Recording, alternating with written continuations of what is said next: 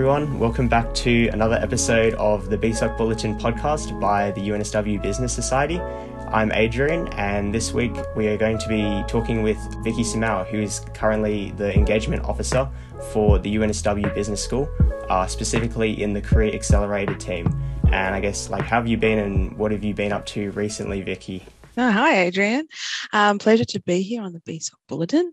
Um, recently, gosh, busy at work. I have a four and a half year old daughter who keeps me busy outside of work. Um, so, yeah, and somehow we're in the middle of term two. So, I'm not sure about you, but I don't know where this year went. To give students a bit of context, are you able to give a bit a brief overview of uh, how you got to become an engagement officer and what you've currently um, got to do in the role? Yeah. So if you throw back to many years ago when I um, was studying. I was studying at UNSW and I did my Bachelor of Arts here at um, UNSW. And it was a degree I chose just because I was interested in so many things. Um, and I just was like, okay, well, this can tackle a lot of stuff. So doing an arts degree, it's really good for your critical thinking, communication skills, a lot of like cultural and contextual knowledge. And you're always coming out of things like with different perspectives and contexts. So that was kind of like the seedlings of um, some groundwork of my whole career, really. Um, and then after I finished my undergrad, I did my postgrad. So I did a Masters of Communications at Deakin, um, which is over in Melbourne. So I'd planned to fly over and do it there and have a bit of an experience, but I got a job at the same time um, at the Department of Education. So I actually was doing distance learning a long time ago, um, and Deakin are quite good at that. So that was my master's. And then since then, I've worked in education my entire career. So in the government sector, private and corporate sectors. Um, and in the last seven years, I've been at the uni. So my roles have kind of spanned across what is considered as communications. Um, so across publications and writing, editing, coordinating um, projects, so textbooks. So those textbooks that you buy at the UNSW bookshop. You know, I used to work on some of the, the editions of them um, prior to that. Uh, and then I moved into more active roles in engagement and communications. And that was kind of a pivot point in um, my career because I guess I was very publishing focused before that.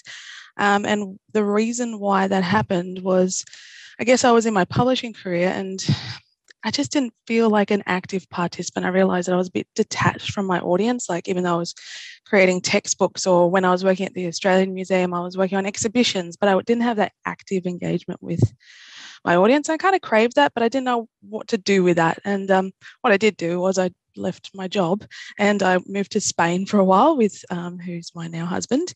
And we did an intensive course to teach English. We're like, yep, we're going to be English teachers in Spain. And yeah, teaching kind of came naturally to me. And I really enjoyed that sort of personal engagement um, as well. And you come back home and things aren't the same. You know, you go back to what was your original career and you're like, yeah, this isn't really working out for me. Like, oh God, you know, I thought this is what I was going to do.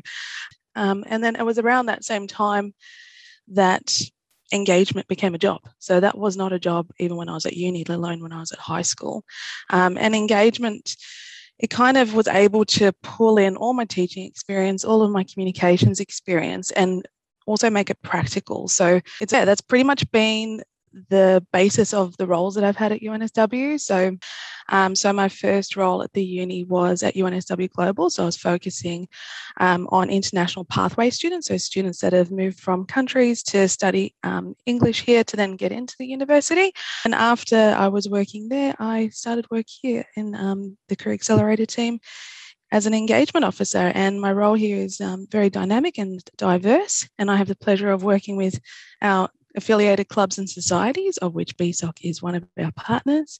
Um, and yeah, and, in, and also having a key role in engaging our wider student community of over 16,000 students um, with everything that we do in Career Accelerator and building a sense of community and belonging as well. Yeah, I think um, especially from like the experience that you've had, I would say it's quite div- diverse. Focusing on the um, engagement officer role, what have you currently got planned for uh, UNSW Business School students? Okay, well, there are a few things that are always happening. And then I guess a part of that is also being responsive as well.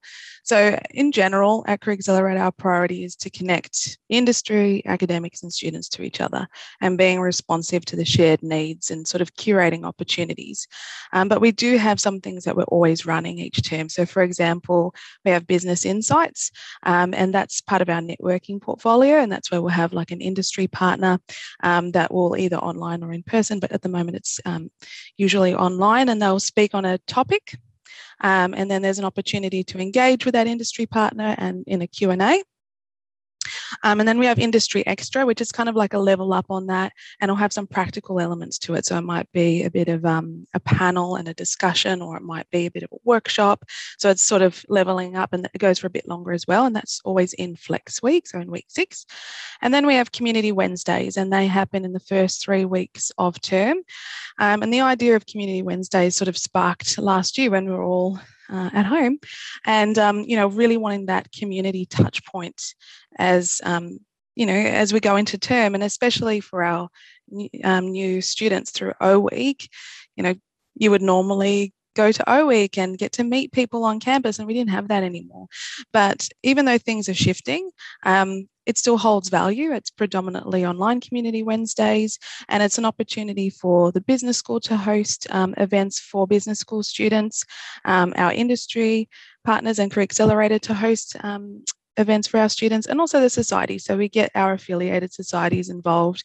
And if there's anything that they want to sort of plug into Community Wednesdays to sort of, you know, have that outreach in the first three weeks of term, there's that opportunity as well. So it's a very diverse range of inclusive events that we host um, every term. So those kinds of our mainstays. Um, and then we also just we have different things that are running like pilots. Um, some pilots end up being mainstays as well. Our clubs and societies or academics have ideas, um, and we're able to sort of be in the midpoint where we can sort of connect and enable and facilitate or engage. So, for example, um, this term we have the second run of FMAA working with the School of Banking and Finance um, with lecturer Ian Kwan, and they do a finance careers showcase. So that's really focusing on specific skills um, within an industry and creating a showcase.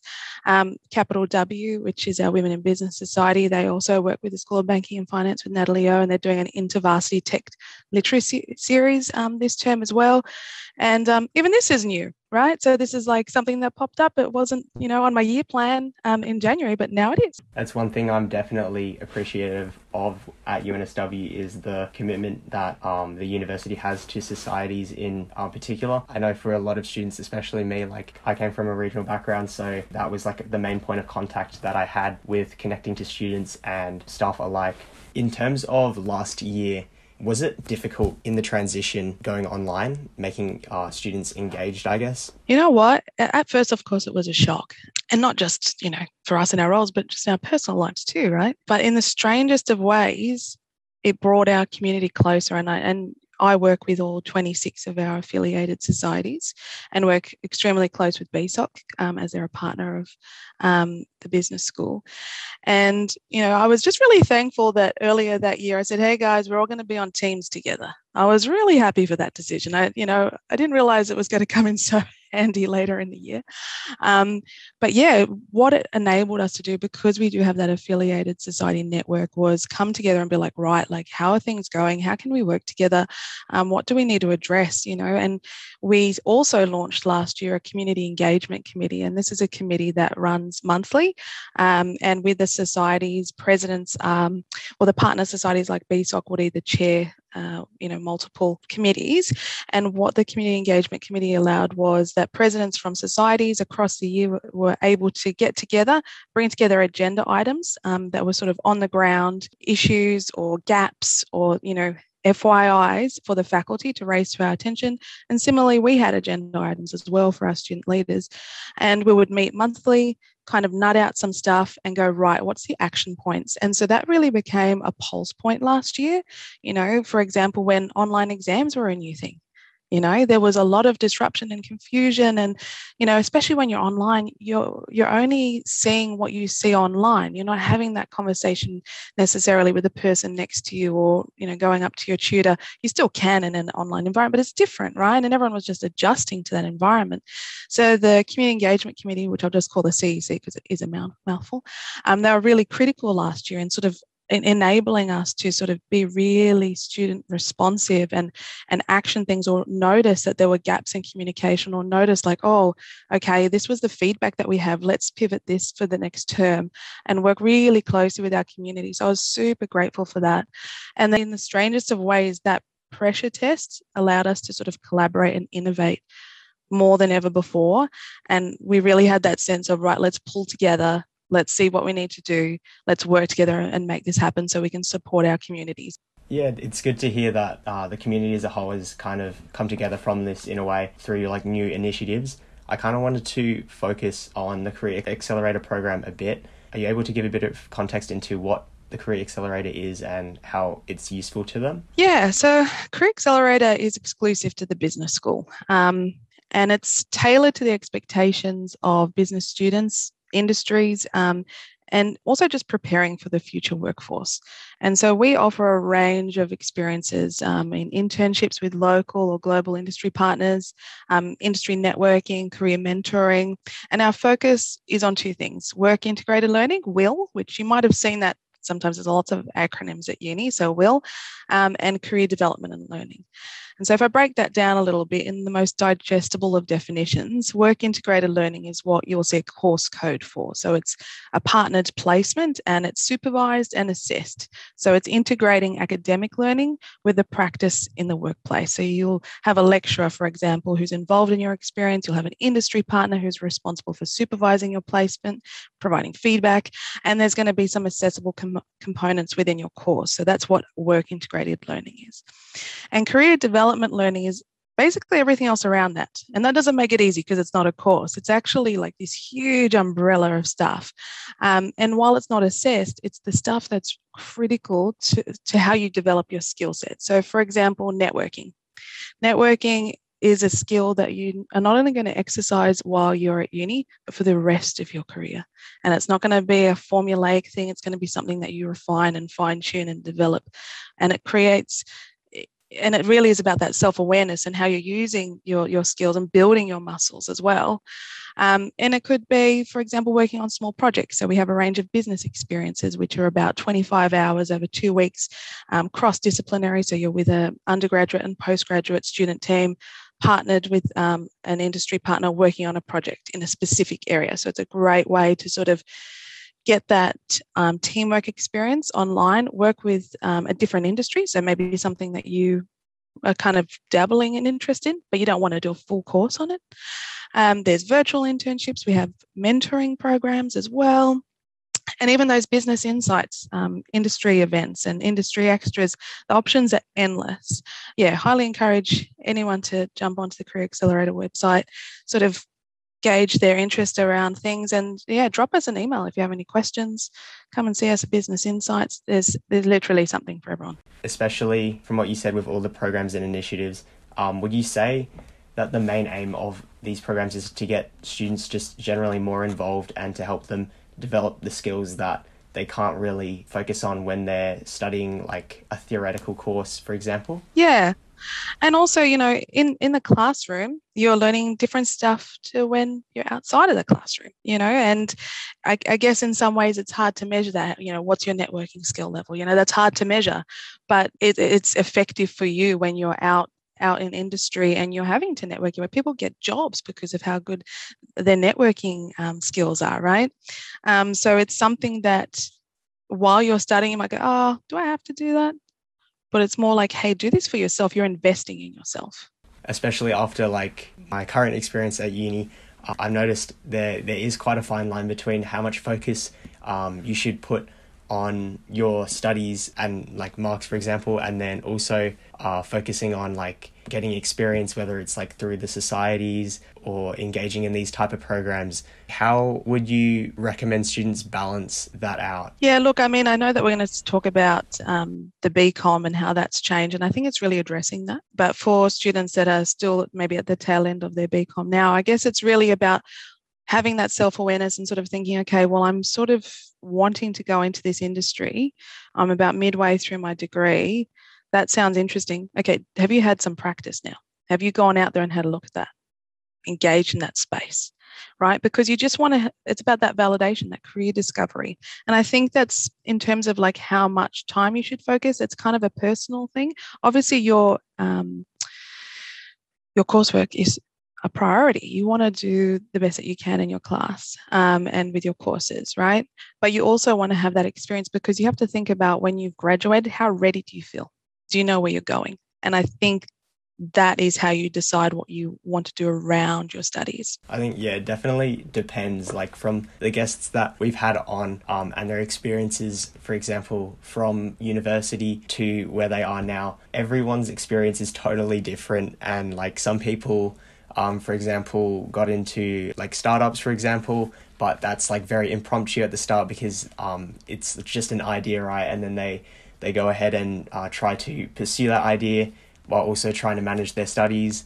And then I think um, was it Anna? She mentioned that university is kind of uh, a safe a safe haven. Um, like you can always come back and rediscover what you are passionate about. For her in particular, she um, decided to pursue like growth hacking and marketing. She traditionally wasn't even involved in marketing, but she um, decided to pursue that outside of studies. So I think yeah, the opportunities are quite endless. Yeah, and I guess it is that sort of those data points again, right? Like as you're doing things, going right.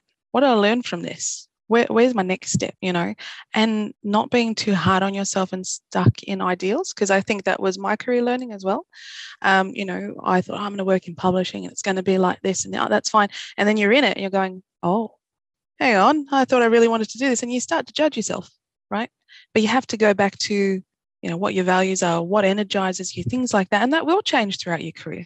Maybe at the beginning you are doing something that you expected and maybe a few years down the track that changes and that's fine too. And that's where that career development learning comes in handy too because you've got your networking skills you've got you know that self-awareness your communication skills all of these um, skills that allow you to transition you know you're not too sort of boxed in coming into uni a lot of people might think that there is like a set path in a way because you do have designated courses and there are like suitable or i guess careers that are kind of catered towards those um, fields that you study but it's important yeah to like accept that change and know like you mentioned data points like checking yourself along the way like making sure you're you're happy about where you're going um, I think is yeah really important. Totally, and the business course really focus on that. I mean, look at last year if you were in industry, you had to sort of pivot. You had to, you know, fall back on those innovative um, skills. You had to be flexible and adaptable, and and these are all things that you have to. It's a muscle that you're building in practice. So yeah, that's really key in your career. Yeah, I think also it's like really nice because talking to other guests, like I come to realize, like while you're young and still at uni, like a lot of them mention, um, this is like when people are most flexible with what they can really do and focus on um, and change really because you have different responsibilities that kind of not necessarily restrict you from pursuing other things, but kind of encourage you to focus on a set career path in a way. I think you pretty much asked like answered my question on bridging the gap between like university studies and like careers through the programs that you mentioned but are you able to go into the new bcom degree a little bit so, in general, I guess with the BCom, our um, programs go under regular reviews, right? And so every time they go under a review, we make sure that they're at the forefront of industry research, technology, and business practice, practices. So, with the BCom, this was an opportunity to provide students with greater connection with industry and better align the curriculum to meet industry needs. So there's a real industry focus, yeah? And so there's this integrated first year, which is ensuring that students learn how business problems are interconnected and complex across interdisciplinary courses. Um, and that helps you become well informed when you're choosing your major because you're already getting that interdisciplinary experience. And then there's my BCom, which is a portfolio for students um, and your learning journey. And it's demonstrating your knowledge, your skills, and your capabilities and achievements for employers, so two employers. Then there's a compulsory WIL, so your work integrated learning that we've been um, talking about. That's for credit. So that when you're doing my BCom from here on, that's compulsory. So doing an internship or a practicum, one of those courses um, is compulsory. And then you have a final year synthesis, which is cementing your knowledge um, that you've gained through the BCom and applying it to real world interdisciplinary problems. So, just to confirm, are, are, restructuring the degrees compulsory as part of the UNSW Business School? The review is. So, it always goes under reg- regular review. And I think that's for most faculties in general. But there's always a review period where they kind of look back and go, right, let's have a look at our degree. And, and then we align it to different um, areas that we're reviewing and we make sure it's up to industry standard. Um, so, yeah, that's something that the, the BCom was already being reviewed um, and the changes that were made i guess now it gets a little bit more focused because you know everyone's sort of like ah am i going to get industry experience? Because the last year was quite disruptive for students. There's a lot of panic of you know am i going to be employable? Right? I know that last year you might remember when there was all the the media about the top 10 jobs of the future and i think it was consulting or something was like uh, and on a list that was not desirable. And I had so many students going, "Oh my god, I wanted to be a consultant." Yeah, I think ultimately when we drill everything down, BCom, or if you're not doing a BCom, it's about what you're doing in class. What are you seeking outside of class? How is that purposeful and aligned to your experience? And when you're getting those data points along your way, are you enabling yourself, maybe pushing yourself a little bit um, outside of your comfort zone? So you're getting the best out of your experience while you can, while you're at uni, and you're thinking about that day that you graduate when you walk out of here and you go, Am I ready? Do I know where I want to go? Do I know? Yeah. Okay. And you did that for yourself. I think it was when I was first in the first year, so 2020, the government, because I know the government would have quite a close relationship with universities. I can't remember the full like specifics, but it was something around the funding of uh, what university students um, like pay for certain courses, and I think they were trying to encourage more students to pursue uh, fields in like science and engineering and maths compared to humanities. But what were like your thoughts on that? I was triggered, and I still am triggered. um, look, I mean, I don't even know what to say about that because if I think about my own personal experience, I studied communications and that's in a faculty of arts you know and social sciences. That's in humanities. And communication is crucial you know and one of the reasons why i actually pursued arts and communications when i was um, choosing my degrees because i had a, a, lovely teacher that was always on my back about doing more units of english because um, obviously she saw that i was was good at it. But um, and she said do you understand that if you get into communications you can work in any industry it doesn't matter because I had so many interests, right? And then she's like, you can work in any industry because communication is a vital skill in those industries. So, yeah, I mean, I, I remember when that came out, and I'm not sure I entirely agree. Obviously, there's going to be areas of growth, and yeah, it's good to be across that growth, but I also don't think that we can sit and say that humanities are not useful. Everything has a purpose and a use. And I think what we need to understand is actually the relationship between things. Yeah, I think it is quite like a complicated topic, especially from what we've discussed. Not necessarily like a student who studies one of those degrees is going to be uh, find passion in it. And i guess yeah it's uh, ultimately up to like what the student does during and after like their university career in a way. And it's also about what that student wants to get out of their experience right? Like i think you define your own success. You define your own um, career pathway. And yeah you might see a news article which you know is saying hey what you're studying probably isn't that important which as I said, still triggers me. But really looking into yourself, okay, well, what do I want to get out of things? What do I really want to do? Because there's a place for that. You know, I would just actually say, don't do the opposite, which is, oh, not really interested in that, but I'm going to do that because that's probably what I should do.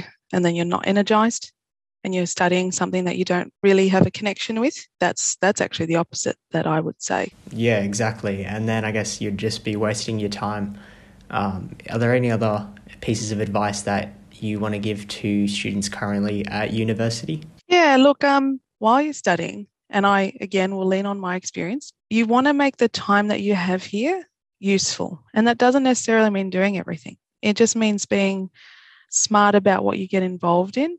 And if something just flickers your interest, go and have a look at it because this is the playground. This is where you get to try all that stuff out.